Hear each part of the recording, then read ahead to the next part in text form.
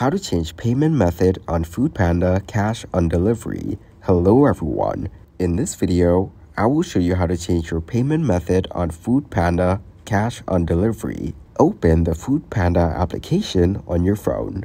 Make sure that you've logged in in your account here. You can choose any of the restaurants you want to order from. Choose any of the items you want to order. Add your item to the cart to order it. It will show you your cart.